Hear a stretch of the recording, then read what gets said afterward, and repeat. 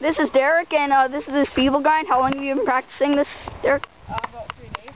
It is. Okay, let's see this. Um, here's our rail.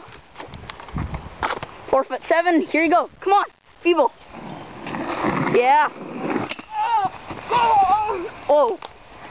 Are you okay?